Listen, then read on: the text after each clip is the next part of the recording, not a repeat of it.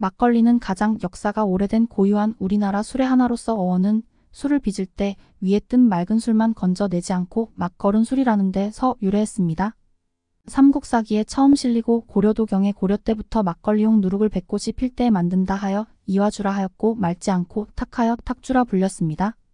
일제강점기와 6점 2호 전쟁 이후 식량 부족으로 주원료가 쌀에서 밀 옥수수 보리로 대체되었다가 1991년 이후 경제 발전으로 다시 쌀막걸리도 출시되었습니다.